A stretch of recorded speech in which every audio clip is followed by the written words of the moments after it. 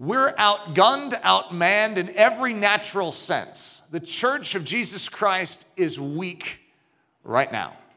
In the generation in which you are drawing your sword, you are surrounded by a rather ragtag bunch. Uh, that's us. You see, we're the church of Jesus Christ. We're not well coordinated. We don't know exactly why we're here on earth. We don't even know what we're fighting for most of the time. We know it's about Jesus and, you know, he has some purpose in this earth, but we don't even, most of us, know what that purpose is. We are not groomed and trained in the Word of God. We have not been honed and refined to have a very clear mission, a very clear vision on this earth. And as a result, when we get out our sword to fight and we see the mighty throng that surrounds us of the powers of darkness mocking us, drooling, saying, Bring it on, we oftentimes have a tendency to set down our sword and run. You see, when you know the battle and you recognize that though the powers of darkness look quite impressive, you have to admit, they look pretty impressive in this day and generation. I mean, if any of you were just to, in the natural realm, just measure the statistical odds of a worldwide revival breaking out in the next week, what would you think it would be? See, none of you are even expecting it. We're not expecting America to turn on its head. We're not expecting the homosexual lobby and the powers of Islam to suddenly just be collapsing around us. We're expecting them to grow stronger. What are your expectations of the Church of Jesus Christ? You're expecting that to grow stronger? Or are you expecting that to grow weaker? Most of us would have to admit we seem like we're on a downward slide. And so we just don't want to participate in the downward slide. We want to isolate ourselves off to the side and be separatists. We're the ones that aren't downward spiraling. And yet, that isn't how the church functions. That's never how it's functioned. We are a ragtag group. And yet, though the powers of darkness look very impressive, they are nothing next to the one that we serve. Greater is he that is in us than he that is in this world. And until we see that, until we know that, we're going to be the cowardly church. But when you recognize whose side we are on, who it is that fights for us, faithful is he who has called us, who also will do it. And if the church of Jesus Christ begins to function as the church of Jesus Christ, watch out, world. The heaven bred warhorse the awkwardness of the Salvation Army. When we see people walking around in uniforms that aren't truly military, and they call each other captain, lieutenant, general, it's awkward.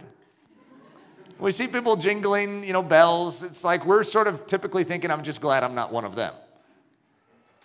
And so, what I'm putting my finger on is the fact that the Salvation Army, in the history of Salvation Army late 1800s, changed the world. They did. However, it's morphed into something for most of us that we only see a humanitarian arm of it. Uh, the Salvation Army does good deeds, but it's lost its gospel core. The reason we as Christians do what we do is for the gospel. It's for the sake of Jesus Christ that his glory would be made known. To, to feed someone, to clothe someone, to give them shelter is wonderful. But if you're not after something deeper than that, you're really not accomplishing anything in this world. And sin will still be sin in that person's life, and they will still die in their sin. You can be fully clothed and well fed and die and go to hell. Our goal is not just to clothe and to feed, even though we will, it's to reach the soul. The original Salvation Army started with that premise. I mean, think about the name of it Salvation Army. William Catherine Booth were after souls and they went to the weakest and the lowest. Last week we had a message called Taking the East End, and it's about the principle of water. When you pour water into any kind of trough, it will always go to the lowest point. And Jesus talked about out of their bellies, those that believe, out of their innermost will flow rivers of living water, which was likening unto the Holy Spirit that will dwell inside of the temple of believers. And when we go into this world, the water that is gushing out of us is going to go to the lowest place, always.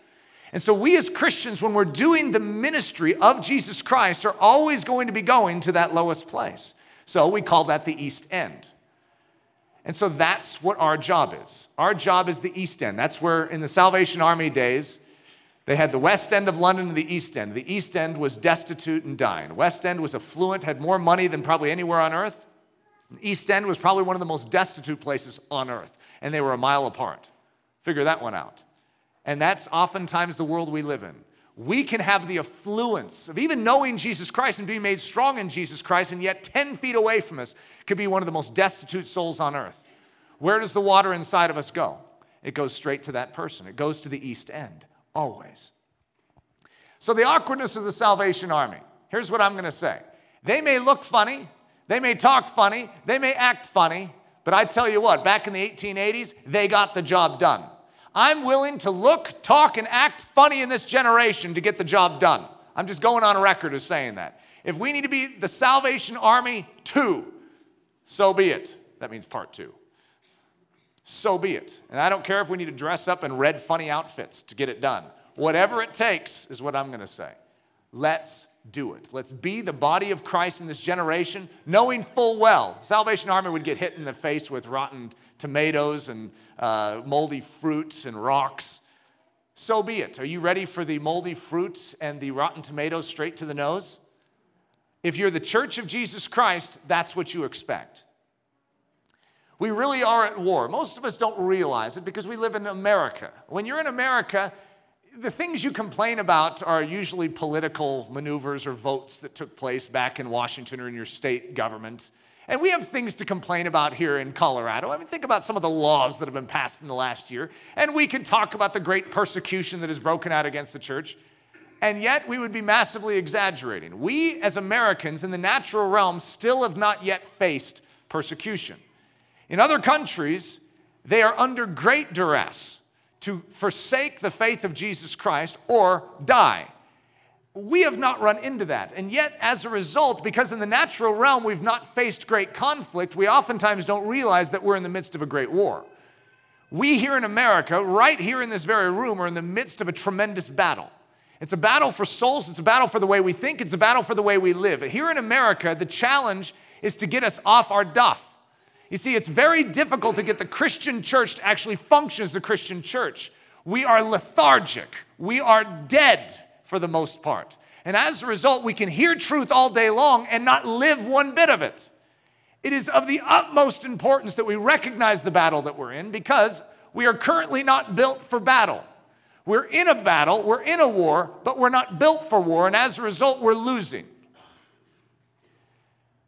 Esther 4. For if, if thou altogether holds thy peace at this time, then shall their enlargement and deliverance arise to the Jews from another place. But thou and thy father's house shall be destroyed. And who knows whether thou art come to the kingdom for such a time as this? Well, what a story is this? This is the story of Esther. So, as I'm not going to go through the whole story of Esther, but King Ahasuerus has had a problem with his previous wife, and so he's discarded her and now he's looking through his kingdom for a fit replacement. And so all the virgins of the kingdom are brought, and they are uh, you know, given their special treatments for multiple months and prepared, and then they stand before King Ahasuerus. And guess who's picked out of all the women of the country but Queen Esther? She becomes the queen. And she's in a unique position at such a time in history where the history, where the life of the Jews is literally at risk. Haman, one of the, the king's right hand men, hates the Jews, and he has conspired a way to get the king to sign off on a certain document or decree that will literally mean the, extra, the extermination of all the Jews in his kingdom. All of them in one single day are going to be completely annihilated. And this is the time frame in which this statement is made. Mordecai talking to Esther. He's saying, You must do something. What? Me? I, you can't actually stand before a king if you're not invited in this culture. And if you do and you're not invited, he will kill you. And so the statement is if you don't stand up, deliverance will still come to the Jews. But how do you know that you were not put in such a place for such a time as this? So, what am I saying to all of us? It's not an accident that you're here in this room, in this generation, at this exact time, and you're at your exact age and capacity at this exact hour and minute. And yes, what I'm going to ask of you today may cost you your life. But how do you know you've not been put in this exact position, in this exact time frame, in this exact situation with your academic understanding, with your spiritual understanding for such a time as this? Deliverance will come. God will get his due and his reward no matter what you do. But how do you know that you are not his chosen vessel for such a time to respond? So we'll call this the for such a time as this principle. God always has a means of salvation. Always. He always has a ram caught in the thicket, a shepherd boy delivering bread and cheese at just the right time, a queen positioned just in the perfect spot at just the right moment in history, or a Messiah giving himself over into the hands of sinners in the fullness of time. God is salvation. That is his work. He saves, and he is ready to work a marvelous salvation in our day. So, remember we talked about the bloated powers of darkness? They're mocking us right now. I don't know if you've ever felt that, but they're mocking the church of Jesus Christ and they are overconfident. They think they're all that. They've deceived themselves to the point that they actually think that the church has no power. The problem is, we agree with them. We don't think the church has power. When do we get back to the Word of God and actually believe it? The church of Jesus Christ has everything it needs to accomplish God's ends in this very hour, in this very generation. A hobelar. Well, that's a funny word. What in the world does that have to do with anything? Sort of an awkward word, too. You know, that's a military device, a military instrument for war. And it's a very unique one. And you know who wielded it? The Scots. Mm-hmm. The Scottish. You know who was the one who first brought it into Scotland? William Wallace. You know where we are at right now? We are at the church at Ellerslie. You know what Ellerslie is? It's the birthplace of William Wallace. He's the guy that brought the hobelar to military strategy in history. He changed the art of war in his generation. You guys don't know the story, do you? And here you are, Ellerslie. And so that's why I'm talking about this the hobelar. This is critical. The hobelar. Now, this is my symbolic way of describing it. It's a heaven bred answer to the needs of God's people in any given generation. Often built and designed by God decades, if not centuries, if not millennia, if not eons prior to the time in history when the hobelar itself is actually revealed and made re- fully ready. The hobelar is an instrument of war designed by God to wholly shock the enemy and swiftly overcome them. Okay, when was Jesus crucified? Well, we know it was 2,000 years ago. However, when was the hobelar built? It was before the foundations of the earth. You see, God has his hobelar in place long before he ever brings it out of his war closet and wields it. When was Esther chosen for such a position? Before she was needed. You see, this is God's plan all throughout history. He is breeding a hobelar. He is building hobelars. Now, I use the word breed because that fits into what a hobelar actually is, even though that might sound strange to our ears. So let's keep going the four attributes of the hobelar. It is audacious, which is sort of like a little, uh, little dog, you know, yippy dog coming against a big, huge Great Dane. You ever seen that? That's called audacity. It's like a little one, you don't quite know what you're getting yourself into here. And that's what audacious is. A hobelar is always audacious. It doesn't recognize how small it is, in other words. It's not intimidated by, by size. It is surprising. A hobelar always catches the enemy by surprise. It is lightning fast, and it is small and unassuming, but delivers a gigantic blow. This is a hobelar. And every single military general wants to find the hobelar in their generation. The birth of a hobelar in Scotland. So let's go back to 1270. Ellerslie, the birthplace of William Wallace, in Scotland. A little baby boy is born. His parents christen him William.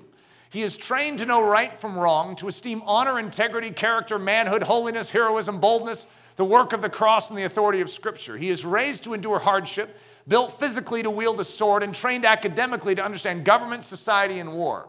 This man was built for such a time.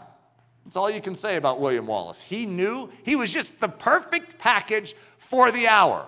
You could say, well, what was the hour? Scotland was hanging on the ropes. It had no more hope. Edward I had plundered Scotland, destroyed its ranks and its armies and its military forces, Its nobles had bowed to him. It no longer had strength, so Edward I could pillage Scotland at free will. No one dared stand up against him. And then, the for such a time as this moment arises. William, could it be that for such a time as this you were born? You see, he was born in 1270 so that he would be fully matured and readied at the very time in all of Earth's history when this moment would arise. When Edward I, in his bloated confidence, would come marching into Scotland thinking that he was all that. And meanwhile, in the dark corners of a devastated Ellerslie, Ellerslie was burned to the ground. Wallace's wife and his unborn baby were killed, ruthlessly murdered by the English. And he's hanging out in the craggy rocks and Wallace determines, I have nothing to live for here. I'm going to live to see my country set at liberty. And suddenly you begin to see a picture of the church in this singular man. You begin to see this man who says, Why would I live for the things of this earth? The things of this earth have grown strangely dim to me in the light of a greater purpose. And so, William Wallace strides onto the scene of time and he knows something that very few people in history have ever known. He understands the art of war, and he understands something. He knows that there is, over in Ireland, a certain war horse that was bred, but it wasn't bred as a war horse, it was bred just to simply know how to navigate speedily on the rough terrain of Ireland. And so that rough terrain bred horse actually is brought over to Scotland, and Wallace has for himself a unique instrument of war that had never been seen before. 1296, the Ellerslie estate, Scotland. Edward I, with his bloated numbers of strong and well bred soldiers, invades Scotland, fully expecting to stamp out the small Scottish rebellion. A multitude of well trained English soldiers march into Scotland, an unstoppable force against a bunch of hungry ragtag Scots. And that is when William strides out of the gates of Ellerslie with the hobilar in his possession, which the Scots so desperately need. Hobilars of history. Gideon. Well, it was audacious, all right. Do you imagine how ridiculous the Gideon war machine was? 300 men against, I don't remember what the numbers was, 120,000 or so. I don't remember how extreme it was, but it was extreme. Audacious. Was it surprising? You bet it was surprising. Lightning fast? Oh, yes. Small and unassuming, but delivering a gigantic blow. God always has his hobilar. He mocks the bloated powers of darkness that think they're all that, and he will use the small things in which to do it. David. David is delivering bread and cheese to the army. Yeah, we're talking small here.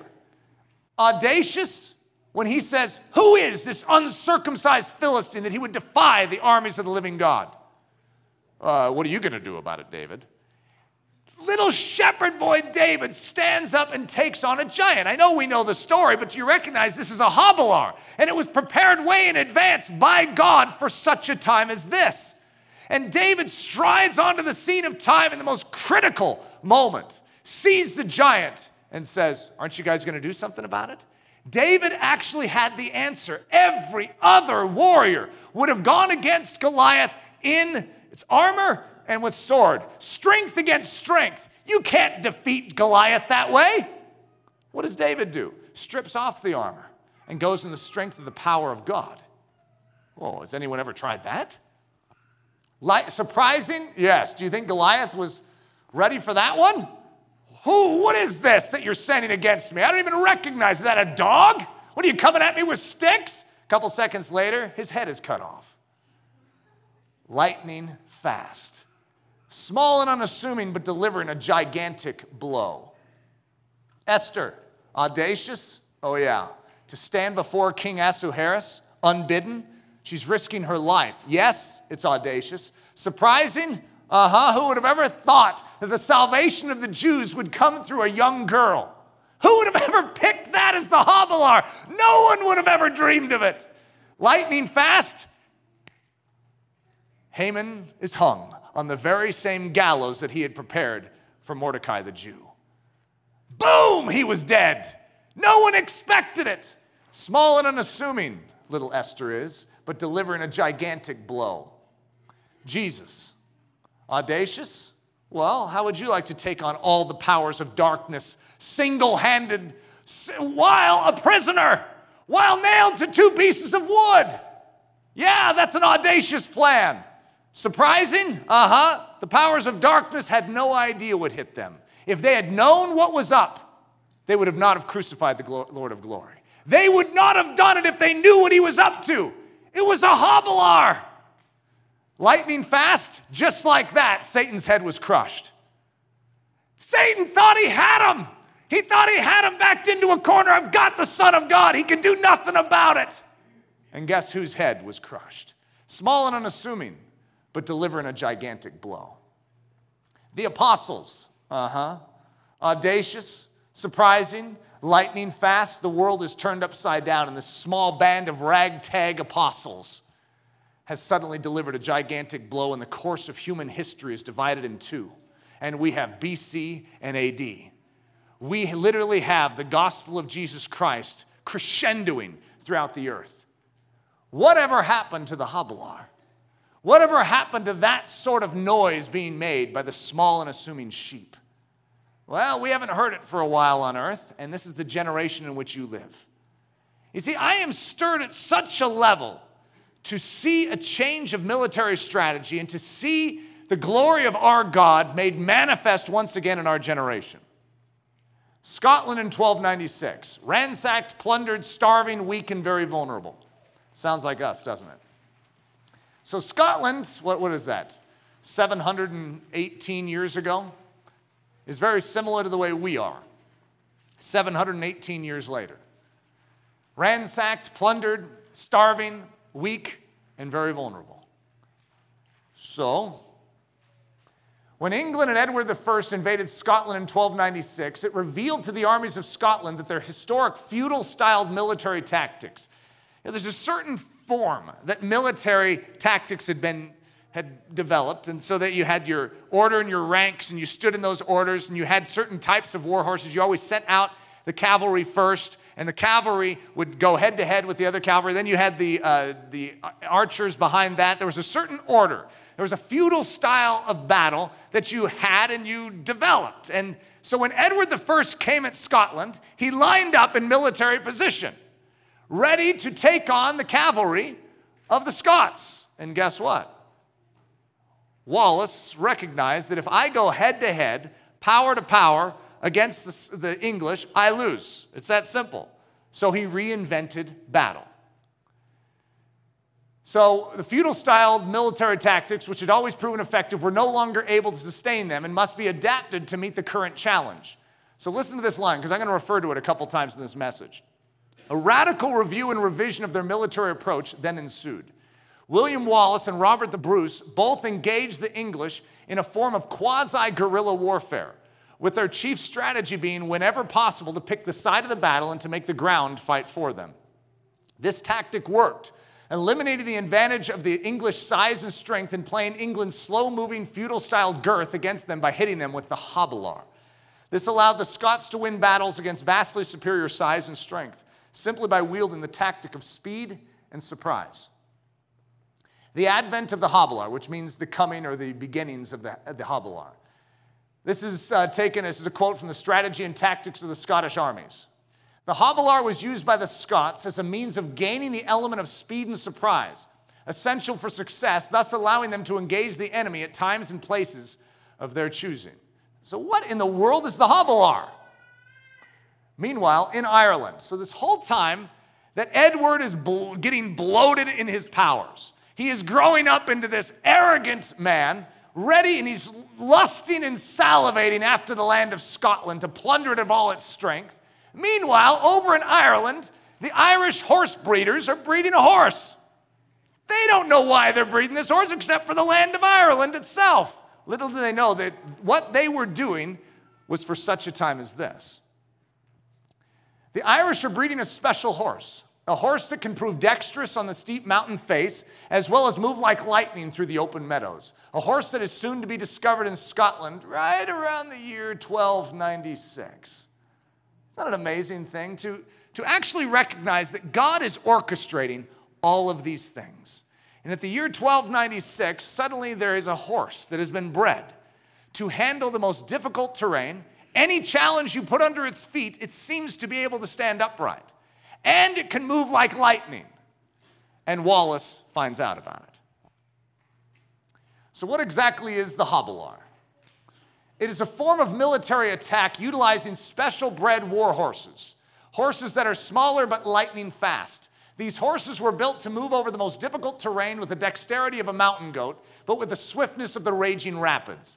The proper use of the hobilar could cause a far larger military operation to falter and fail due to the fact that it couldn't respond quick enough to the lightning quick movements of the soldiers riding on the hobilar. So the hobilar is literally like a cavalry, but it's called the hobilar. Have you ever heard of the hobby horse? That's where it comes from. It's a smaller horse, extremely fast, and built for war. They didn't know they were building it for war. It's built for war. It's like unafraid. It will go into the darkest place totally unbashful about it. Courageous, this little horse is. And so all of these soldiers would ride on horseback and they would hit the English from the side. The English were aimed this direction. We can't turn our whole army this way. So meanwhile, they're being picked off on the side. This change of battle strategy completely caught the English off guard. They didn't even know how to respond to it. And as a result, though England was so much more powerful, there was a hobilar in place at just the right time in history. The Hoban. Uh, the Hoban, it comes from the Gaelic Oban, meaning swift, sudden, speedy, and instant. That's what the Hobilar are named after. This is the swift, this is the swift, sudden, speedy, and instant. Now, if you remember the message last week, which is taking the east end, the word was mahar in the Hebrew. It's how David went after Goliath. He sprinted. He moved as a hobilar would. He was swift, sudden, speedy, and instant, and it caught Goliath off guard. It caught the entire Philistine army off guard. It caught technically the Israelites off guard. No one was expecting this. The time for radical review. Here's our quote from earlier. When England and Edward I invaded Scotland in 1296, it revealed to the armies of Scotland that their historic military tactics that had always proved effective were no longer able to sustain them and must be adapted to meet the current challenge. A radical review and revision of their military approach then ensued. So in First Chronicles, we have this very interesting statement about the children of Issachar. And of the children of Issachar, which were men that had understanding of the times to know what Israel ought to do. The heads of them were 200, and all their brethren were at their commandment. I'm building something. I'm saying all this for a very specific reason. It's not just to tell you about Scottish history, which technically means very little to us if it doesn't have some application today. But it's to acquaint you with the fact that at different times in history, there needs to be a radical review of the strategy of which we are approaching the war in which we are in. And if we try and match wits with the power of darkness, if we try and match brawn with the power of darkness, we're very likely going to lose. But in every generation, there is a hobilar. The question is, are, do we have the men of understanding in this generation to see it and know what we ought to do now, in this hour, to hit that darkness where it hurts?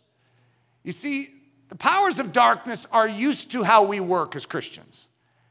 They have their defenses up in certain areas. The English know how the Scots fight. They've fought the, Sky, they've fought the Scots for years. They know how the Scots are going to face them in battle. And William Wallace strides on the scene and hits them from the side, hits them where their defenses aren't up. I want you to hold on to that concept. Hits them where their defenses aren't up. The Salvation Army in 1880, it was a hobilar. No one expected it. The church in 1880 was actually almost identical, if you hear the description of it, to the way we are today. They, everyone sought out comfort. If there was comfort to be sought out, that's what they sought out. And so, if you're a Christian, you live in the West End and you have pity on the East Enders. It's very similar to the way we're set up. And the Salvation Army blows the lid off of everything that had been done up to that point. And all I can say is, it came in with a hobilar on the side with some quasi guerrilla warfare against the powers of darkness, and the powers of darkness had no answer. So that literally hundreds of thousands of people came flooding into the kingdom because of this. The powers of darkness were prepared, but they weren't prepared for this the Salvation Army in 1880. God showed them their hobilar. It was the use of brass bands. Could you imagine if we started whipping out a brass band today? It's like, okay, uh, Travis, you're on the tuba. Do I have. What do you call that thing that goes back and forth like this? Trombone. Do we have a trombone guy in here? So it was the use of brass bands, the wielding of the language and insignia of an army. You see, today, if we started using the, the insignia and the language of the army, it doesn't translate very well. Do you know that in that time period, though, the language of war was extremely effective? And as a result, they were known as the Salvation Army, and they had literally the ranks among themselves, and they had the uniform of the army, and it actually was like a magnet to those that were dying. And they wanted to come into something with order, something that was run properly. And everyone knew the military was run properly. The church that they knew was a heap of junk. Give me something that has order in it. And so, actually, what they were doing, though we look at it however many years later and chuckle, was brilliant. And it caught the powers of darkness completely off. They didn't have any clue what was happening to them. The leasing of secular theaters in which to hold their meetings. You don't do that. You know what was playing in that theater last night? William Booth says, This is where they're used to going. I'll meet them right here. Oh, that is against the rules in Christianity. The employment of secular music overlaid with Christian lyrics. All I had to do is ask some of you in here, you're like, oh, I don't know if I feel comfortable with that. This is against the rules, isn't it? This is against the way we do battle. And in that time, it was as well. There was nothing about this that was normal. You know? This flies in the face of everything I'm comfortable with, too. I'm not saying that's what we should do. I'm saying this was a hobilar, and it caught everyone off guard, including me. The near instant sending off of the new recruits into active ministry labor. Oh, you're 16, you've been trained for two weeks, go! Uh, uh, and the use of women in their leadership. At this time, there was massive oppression against women. And what the Salvation Army offered was, well, not here. You want to be useful? Come to the Salvation Army. And so as a result, it just exploded in size. This military maneuver wholly surprised the enemy, who was totally unprepared for this movement of grace. With speed, audacity, suddenness, and boldness, the hobilar of 1880 charged into the fray, devastating the powers of darkness the world over. This spread into 56 countries in a decade. This was a massive movement the world over. Every culture has its access points. So back in England in 1880, there were access points. Okay, so we talked, we just went through the brass band. Back in those days, everyone had a brass band instrument. So even in the East End, people love brass band sound. Now that might be a little different today. I'm not saying this is the way it should be done today. However, back in those days, you get a brass band together and go into East London, and people are actually huh, I'd like to hear that. You get a brass band together today and go down the streets of Windsor, and everyone yells out, shut up!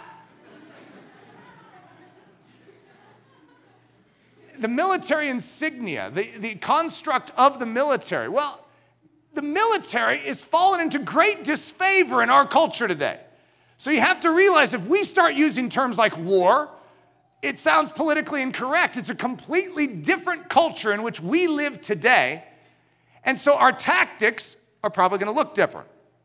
However, every culture has its access points. What the Salvation Army did was it literally came in through the access point at that exact time, just like with Edward's forces aiming this way, they hit him where the defenses weren't up. And that's what the Salvation Army did. And so when I think of just a few quick access points, well, I think I have a list here, don't I? The flash mob, someone brought that. We were, we were talking amongst uh, ourselves, students, and then the practicum students this week, of different uh, access points in our culture. The flash mob. You may not agree with what these people are singing. Could you imagine we have a flash mob of, of uh, people singing uh, songs about Christ? No one would even know what to do. They wouldn't say shut up because they're so intrigued by it. Oh, I'm part of a flash mob. I'm saying this is something that our culture is actually inclined to listen to, as opposed to a street preacher, whereas they say shut up. They're not inclined to listen because there's a defense up already. I'm not actually saying that street preaching is wrong by, by bringing that up. I'm saying There's certain things that if we hit the powers of darkness sideways, we could actually accomplish something that we can't with our old methods. If we actually approach these things without diminishing the gospel, but upholding it to the highest standard, but then hit it where the darkness is not yet ready, who knows what we could accomplish? The innovative, our generation, just like back in ancient Greece, they loved philosophy, they loved knowledge. Our generation loves things that are unique and new. If it's innovative, it's never been done, our culture is very intrigued by it. The improv.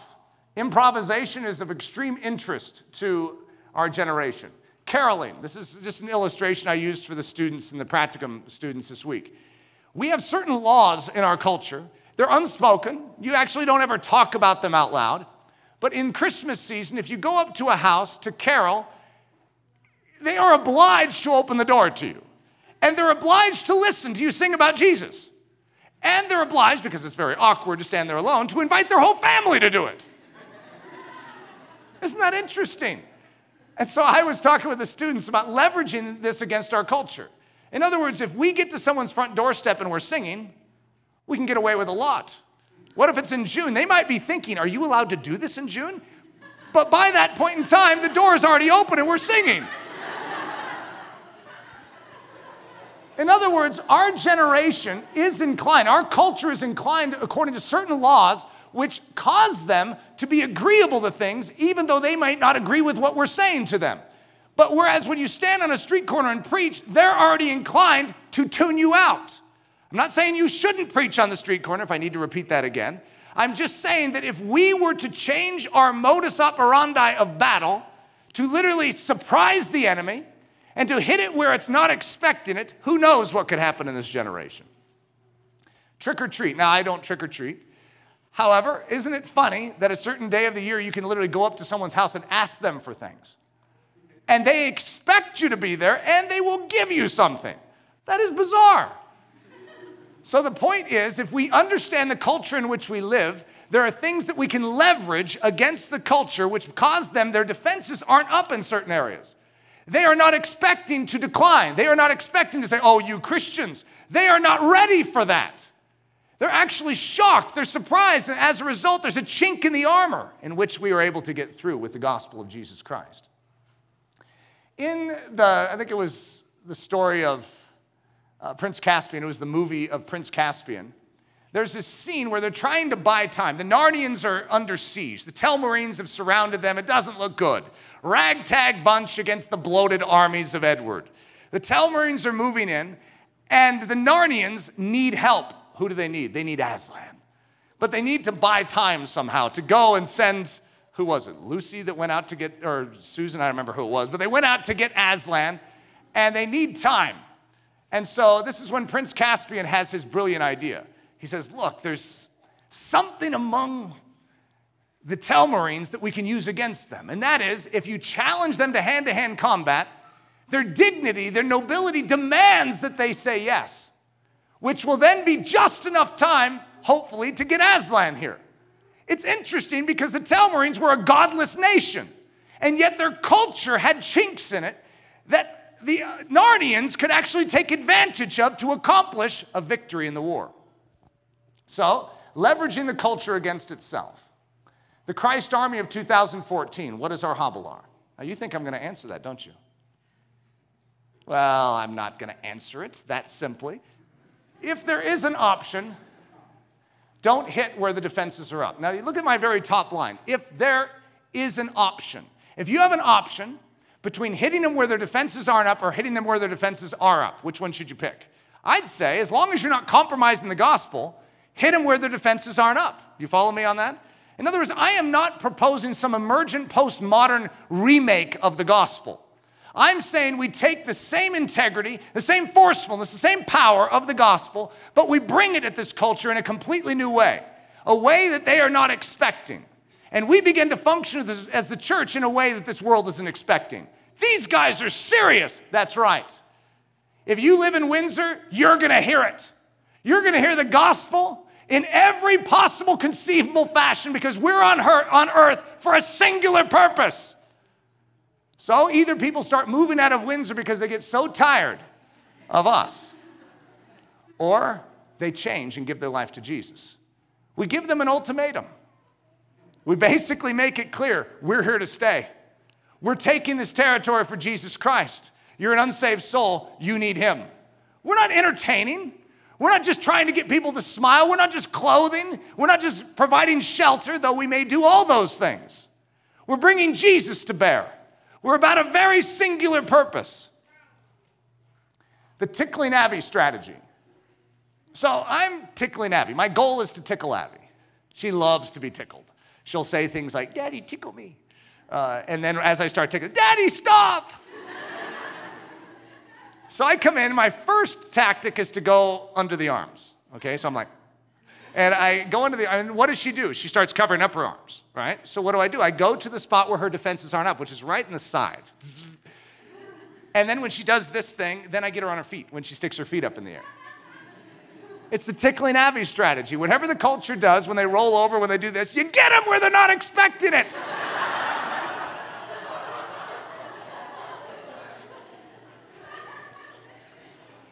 I know it may not seem like it, but the enemy is vulnerable right now. The reason I'm saying that is because the enemy is not expecting anything from us. You know, to be honest, we're not expecting anything from us. After church today, do you think we were planning on going into Windsor and turning it upside down? No, we were expecting to go about our day as usual. The point is, when we change as the church, we begin to change our priorities, change the way we're living, the world will be just as surprised about it as we are. We're not expecting it either. So, what if we pause and we say, This changes? This changes. We're here for a purpose. You see, up to this point, this church has not been an active church because of the way we're set up as a student church. The moment we become a local church, let's become a local church and let's change the world. I mean it. We're not going to do this to just be a church. Oh, yeah, everyone needs to go to a church. Let's just be another church.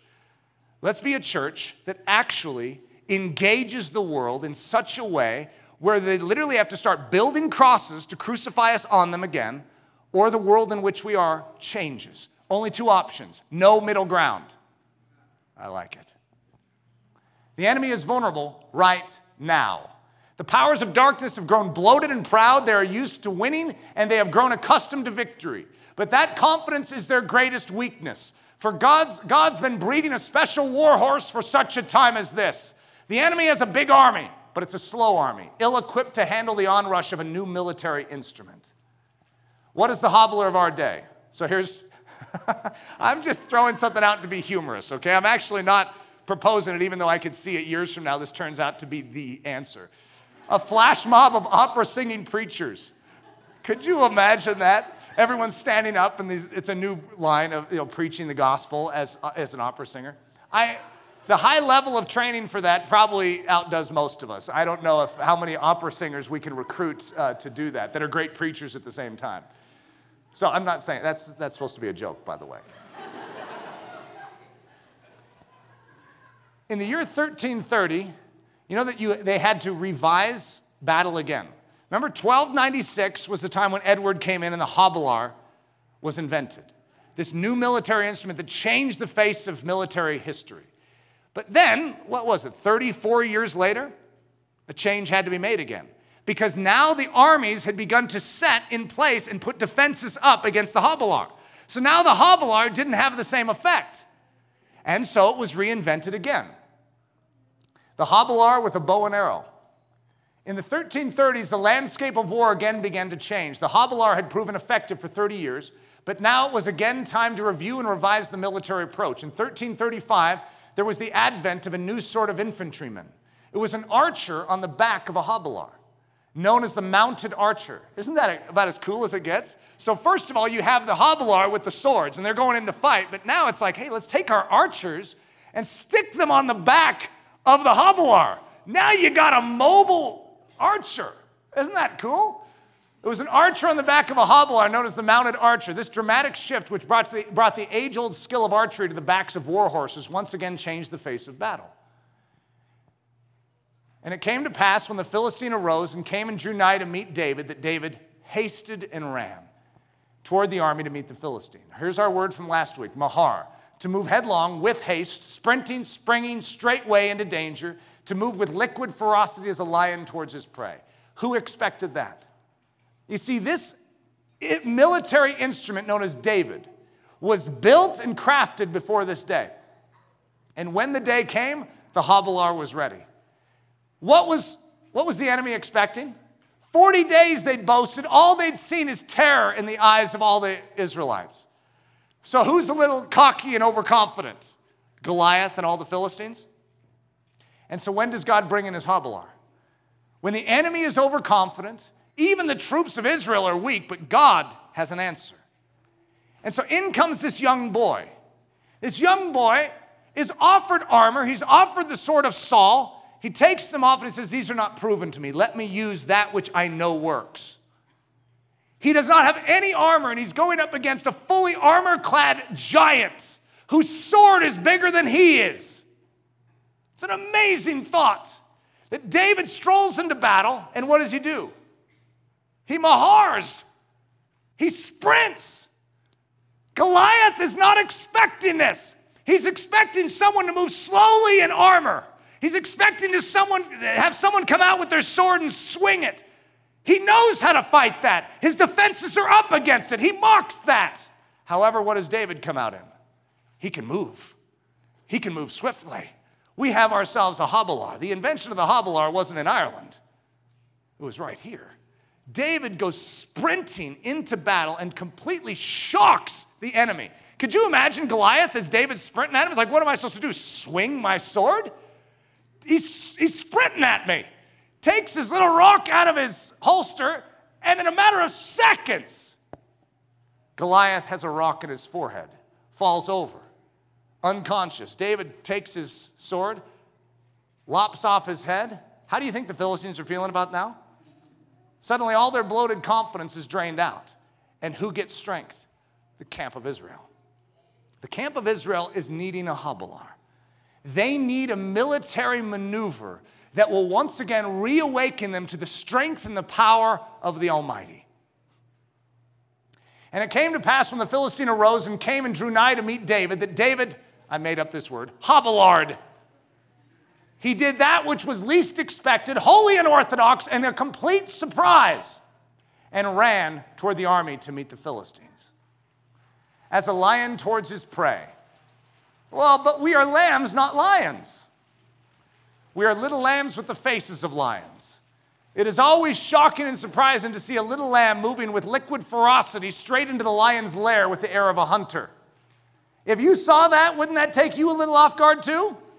What happens when the world sees the church moving that way? It's like, hey, guys, we serve the King of Kings. Why are we being bashful? Why are we cowardly? They should be the ones begging for mercy, Stop thinking about Jesus, is what they should be yelling out. You see, we should be on the offensive, not the defensive. We have the truth that sets men and women free. We are not hostile towards this world. We are in an action and a maneuver of love and humility to take the lowest place and to wash their feet, to be willing to lay down our life that they would live. We are hostile towards the spiritual powers that are puppeteering them. When we go into battle, our battle is not against people, it is against the principalities and powers that are puppeteering them. Our agenda is to love those people and see them set free. And we have the lone tool in the universe with which to do it. It's the power of God unto salvation, known as the gospel of Jesus Christ. Let's wield it, and let's wield it as our military instrument. If we are willing to look like idiots, dot, dot, dot, what if we were all in this room willing to sign up and say, I'm willing to look like an idiot in my generation? If we were willing to look like idiots, then anything is possible. So bring on the rotten tomatoes. But most of us aren't willing to look like idiots. I think most of you know that I sort of chose the idiot track quite a few years ago, which is why I look so funny and I preach, and people are like, that, that's the guy that makes so much noise. I know it doesn't translate very well. Oh, someone over here was probably guilty of saying it. and yet, did you know that when I allowed God to just speak through me whatever way He'd want, because I used to speak very calmly, I never raised my voice, it was all humor. And I would, it was more, more an entertainer than anything else. And God had to get a hold of me and say, Eric, are you willing to look the part of the fool? Uh, God, don't do that to me. I do not want to be a John the Baptist with hair all wild and a camel skin loincloth, popping locust and wild honey. I do not want that, God, please. Can't I be hip and Christian? No! You cannot be. You choose which side you want to be on. If you're hip, you're with the world. If you're a fool and an idiot for Christ, you're with Him. You have to be willing to forsake the good opinion of this world to gain the good opinion of heaven. Who's in? The Sheep Brigade, the unstoppable military force of dumb, woolly creatures. We are to be super conquering. They are more than conquerors. We are to be bequeathed with all power and authority, seated in Christ Jesus in the heavenly position of power and authority, given power over all the power of the enemy to tread upon their high places. Immovable and invincible, able to repel all the fiery darts of the enemy, able to tread on lions, adders, serpents, scorpions, and dragons, able to drink poison and be unharmed. A thousand shall fall at their side and ten thousand at their right hand, but it shall not come near them. There shall not a hair of their head perish.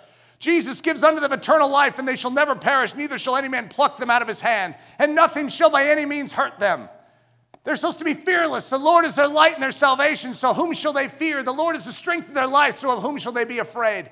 Though a host should encamp against them, their heart shall not fear. Though war should rise against them, they will remain confident in their God because God will never leave them or forsake them, and He ever lives to make intercession for them. God is their refuge and strength, the very present help in trouble. Therefore, they will not fear, though the earth be removed and though the mountains be carried into the midst of the sea. And no weapon that is formed against them shall prosper, and every tongue that shall rise against them in judgment, God shall condemn. We are to be unstoppable. The Lord is with them as a mighty terrible one. The gates of hell shall not prevail against them. Whatsoever they shall bind on earth shall be bound in heaven, and whatsoever they shall loose on earth shall be loosed in heaven. And there is no restraint to the Lord to save by many or by few. Greater is he that is in them than he that is in the world. Since God is for them, who can be against them? What are we doing on the defensive? Let's take this earth by storm. So, I do have a proposal for us. I'm not even saying it's a good proposal. Probably every hobilar starts with, why don't we import one of those Irish horses and just try it out? And maybe that's where we're at. However, I think the key of this message isn't what we do, it's that we're willing to do it. That we are willing to be part of Gideon's army. That we are willing to stand up against the 12 and a half foot man beast with a sling and a stone. We are willing to pick up our cross and follow him. We are willing to be the fool in this generation. We're willing to pick up our tuba and be thrown, have a, have a rotten tomato thrown square into our nose and say back, Thank you. Thank you. I heard that tomato juice has great cleansing qualities. we are willing to be the hated and despised to see this world set free, to see that the lamb that was slain will receive the reward of his suffering. All right?